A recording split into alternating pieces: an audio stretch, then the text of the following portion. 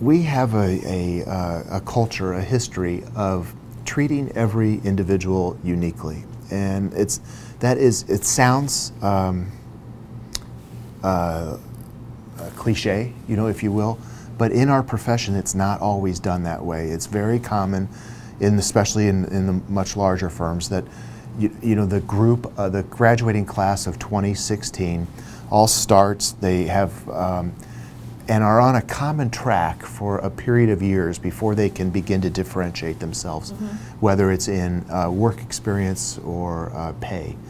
And, and KSM has never ever been that way. We've always had a philosophy that everybody's unique and that the cream will rise to the top and that uh, talented people, if given the opportunity to share their and show their talents and to grow and develop, and be mentored uh, and, and nurtured will, will just have spectacular results and fantastic careers.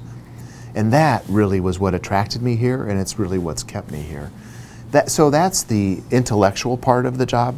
And then I'd say the other is the clients. And the clients are, for the most part, um, locally owned businesses that are um, uh, privately held. They're not publicly traded, and uh, and they're people who you really become friendly with, and for whom, as you achieve great results for them, they say to you, "Thank you so much. When can you come back?"